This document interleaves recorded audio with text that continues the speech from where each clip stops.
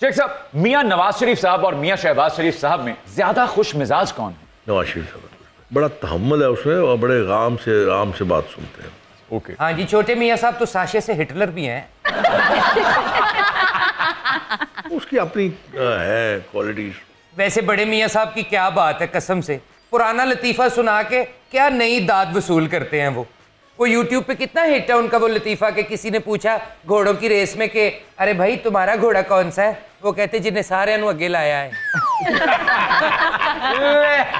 कितना पुराना लतीफा तुझे अज भी हँसते पे हो आज मियाँ साहब का मुकाबला उस हारे हुए घोड़े के साथ है जिसने सब घोड़ों को आगे लगा रखा है। अरे चौधरी क्या कहने? मेहरबानी। शेख साहब खुद तो आप माशाल्लाह से तगड़े आदमी हैं खालिश खुराकें खाते हैं दूध पीते हैं ताज़ा। सर वो दूध कभी नोटिस किया आपने जो आवाम तक पहुँच रहे सर? जो पी के ऐसे बच्चे हो रहे हैं?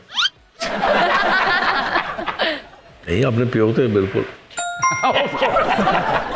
ग्रोथ नहीं हो रही चौधरी हो सकते भुट्टो साहब ने तो लिखी थी ना इफ़ आई एम असैसिनेटेड आहा, ये मुझ पे लिखेगी इफ़ आई एम डिसअपियर अगर मैं गायब कर दिए जाऊँ ज़्यादा चौधरी ते शोक इमरान रियाज वाले चलो तुम मुझे रहने दो चुदरानी पे किताब लिखो दुख्तरे नेक अख्तर। वाकई चौधरी नेक तो लिखना पड़ेगा क्योंकि वैसे लोग नहीं मानेंगे। हाँ, दर दर। फ़िक्र ना करो चौधरी चौधरानी पे जो मैं किताब लिखूँगी ना मोहसन उसमें हीरे की अंगूठियाँ सहेली की करप्शन तोशा खाना और अलकादर ट्रस्ट के 190 मिलियन पाउंड का ज़िक्र भी ज़रूर करूँगी।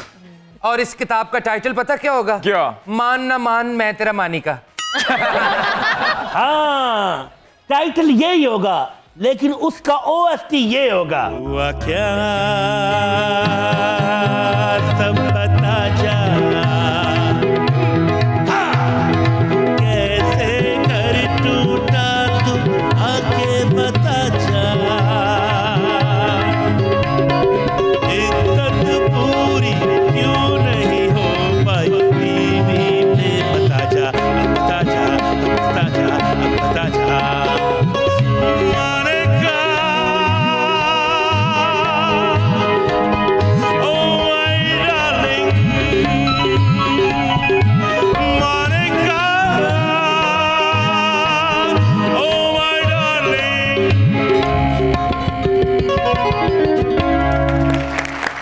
हम पे इल्ज़ाम तो वैसे भी है ऐसे ही सही। हम पे इल्ज़ाम तो ऐसे भी है वैसे ही सही। नाम बदनाम तो वैसे भी है ऐसे ही सही। हम पे इल्ज़ाम तो ऐसे भी है वैसे भी सही।